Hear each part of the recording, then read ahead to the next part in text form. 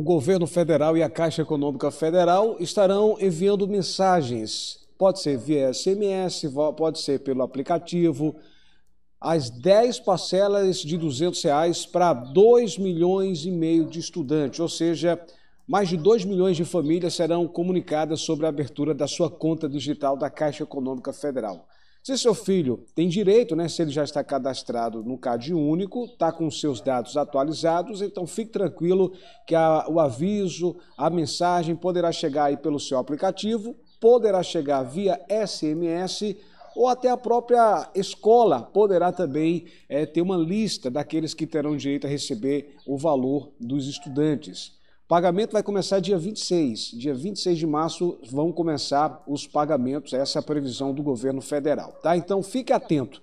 Você que tem filho estudante, está na escola pública, estuda aí no primeiro, segundo, terceiro ano do ensino médio, a, as contas digitais da Caixa já estão abertas. Agora, só falta comunicar e essa comunicação pode durar dias, talvez semanas, mas você será avisado, você será avisado. Então fique atento. Se você está com seus dados atualizados, a primeira parcela vai cair na conta digital, previsão dia 26 de março. Tá? E você vai ser avisado sobre o seu filho de 14 a 18 anos, escola pública, está matriculado, é, tem uma renda menor ou igual a 218 reais. E lembro sempre, tá, gente? Tem que estar matriculado em escola pública e não em escola particular. Tem que estar entre 14 e 18 anos. Se tiver, se tiver 19 a 24 anos, só terá direito se tiver matriculado no EJA. Então fique atento à questão da atualização, ok? Outra coisa, gente, o que é certo e o que não é certo? O que é certo e o que não é certo. Tem muita gente anunciando algumas regras que o governo vem confirmando. Então, deixa eu tirar algumas dúvidas aqui. A gente sabe que durante essa semana os pagamentos do Bolsa Família continuam, né? Pagamentos aí do mês de fevereiro. Já falei a você que em março o pagamento do Bolsa Família vai começar numa sexta-feira, dia 15, 15 de março pagamento do próximo mês, dia 15 de março. Nesse mês de fevereiro já começou o pagamento do PIS PASEP, R$ 1.412. Primeira parcela já caiu no, no dia 15 de fevereiro, né, para quem nasceu em janeiro. Quem trabalhou em 2022 já caiu R$ 1.412. Seu filho de maior que tem trabalho, carteira assinada pelo menos 5 anos, seu marido, você, sua filha, enfim. Quem trabalhou em 2022 já caiu agora, dia 15 de fevereiro, um salário mínimo R$ 1.412.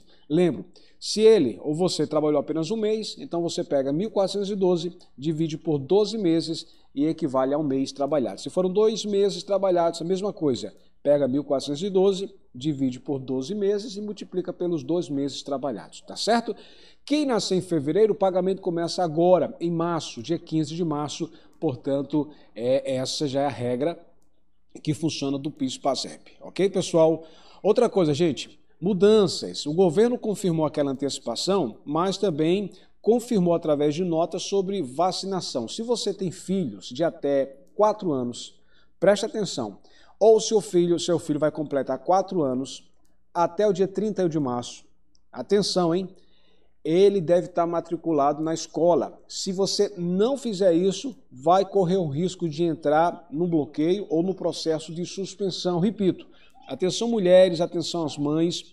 Se você tem um filho que vai completar quatro anos até o dia 31 de março, até o final do próximo mês, o governo está cobrando que você coloque ele na escola ele tem que estar matriculado. Se não fizer isso, o governo pode bloquear ou suspender o seu pagamento do Bolsa Família. Então, já é lei. Outra informação, preste atenção. Uh, quem teve bebê recentemente, se você conhece alguém que está no Bolsa Família e teve uma criança, teve um bebê, então o governo agora está exigindo a vacinação da Covid-19.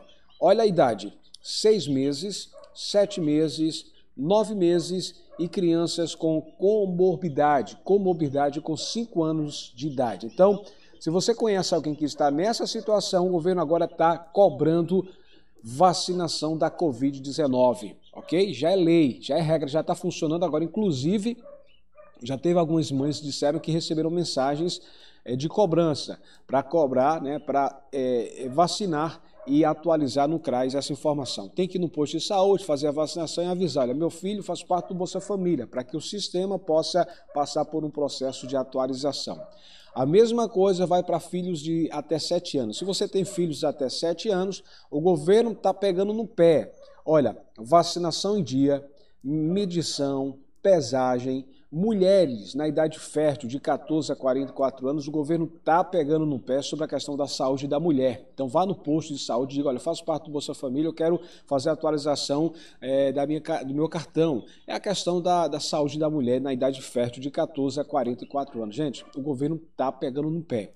São 7 milhões de pessoas que o governo está de olho. Já mandou mensagens para cerca de um milhão desde dezembro. Dezembro, janeiro, agora fevereiro. E vai mandar mais, é, vai mandar mais mensagens sobre a averiguação cadastral. São 6 milhões de pessoas que o governo está de olho.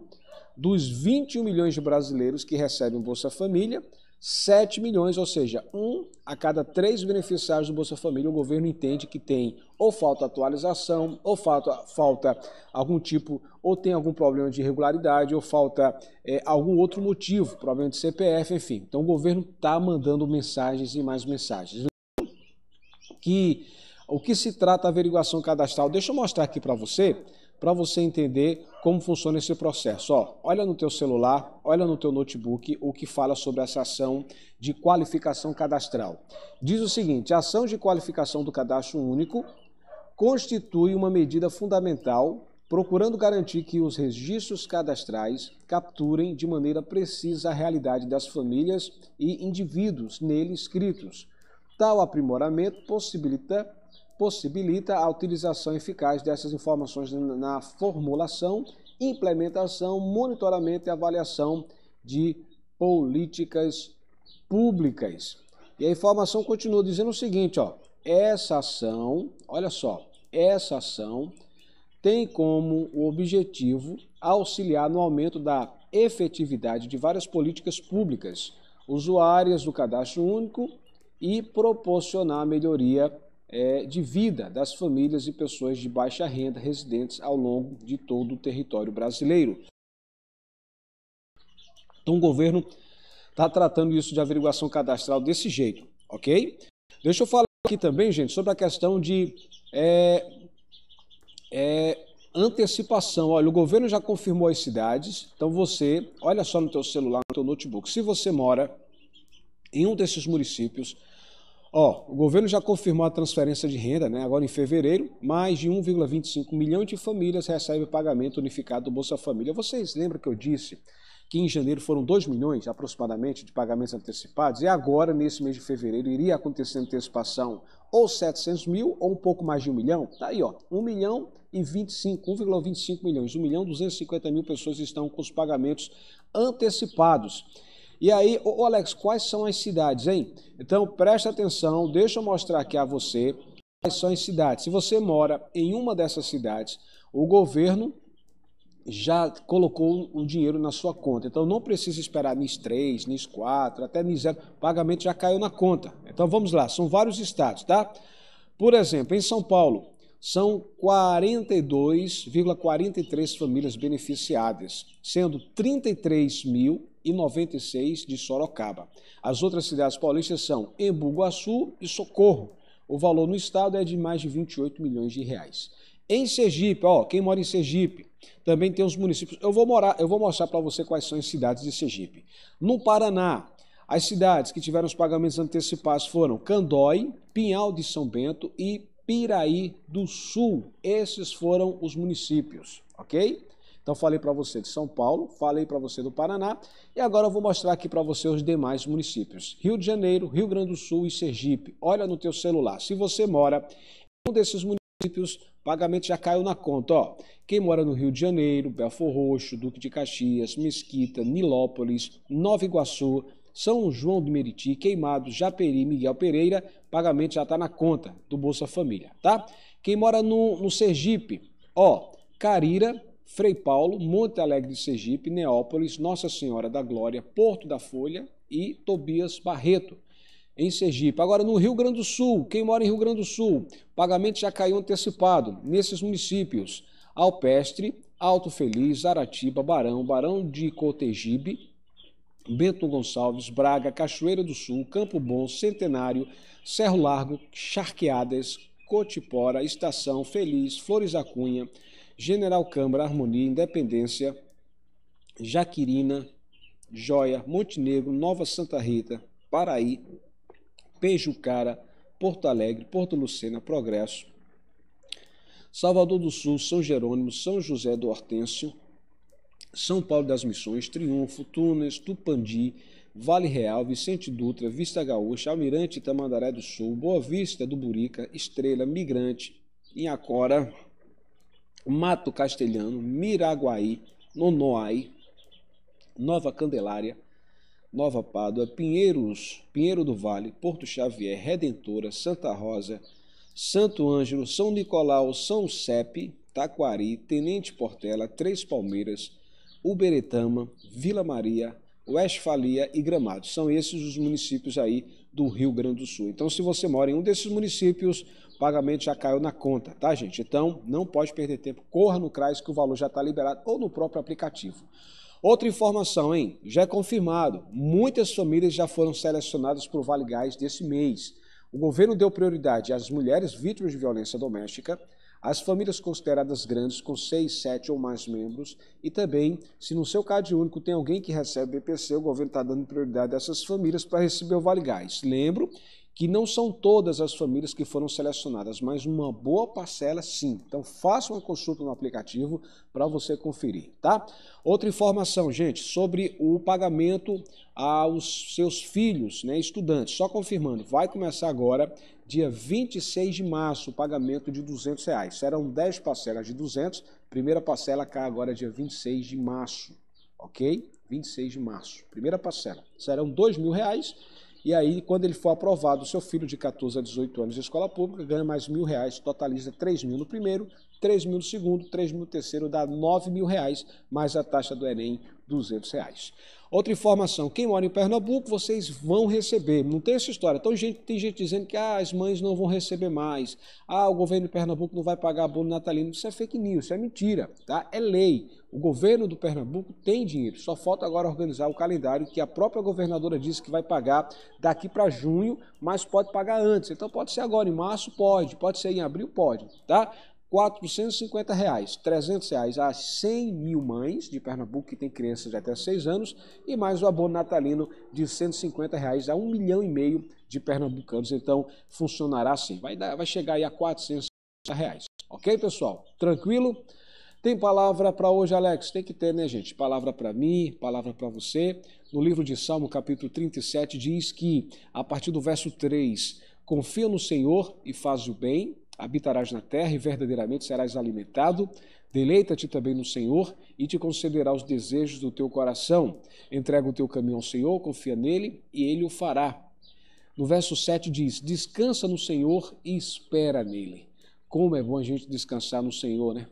Como é bom a gente depender do Senhor. Eu sempre faço questão de dizer, independente da situação que você esteja enfrentando, seja problemas financeiros, problemas de saúde, perseguição, seja injustiça, se você serve ao nosso Deus Todo-Poderoso, o Deus de Abraão, Isaac e Jacó, que é especialista em milagre, que é especialista em fazer, né, em fazer, em curar, já que ele é o médico dos médicos, então você está muito bem encaminhado, tá? Essa história de confiar em homens, depender de homens, esqueça. Maldito o homem que confia em outro. A nossa confiança deve, ter, deve estar plenamente em Deus e em mais ninguém. Essa história, eu já vi muita gente dizendo, ah, que estão aí fazendo, pedindo dinheiro para a gente orar. Que história é essa, gente? Dê de graça o que você recebeu. Se você vê, ouvir alguém dizendo, se você quer uma oração de dois minutos, deposita o Pix. Se você é, ouvir alguém né, dizendo, ah, vou fazer meia hora de oração, faça um Pix nesse valor. Gente, pelo amor de Deus, caia fora, tá? Falsos profetas, o que tem de gente aí se aproveitando, faça isso não. Dê de graça o que você recebeu de graça. Tenha muito cuidado. E outra coisa, essa história de que Deus manda te dizer que, cuidado, tem muita gente aí fazendo, dando profetadas.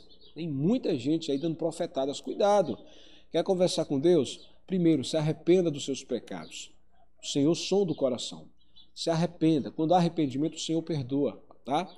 E aí procure estar em comunhão com o Senhor. Como, Alex? Se afastando do pecado. Pare de mentir, pare de levantar falsos testemunhos. Procure estar no caminho, em harmonia com o Senhor. Prepare-se para ter um encontro com o teu Deus.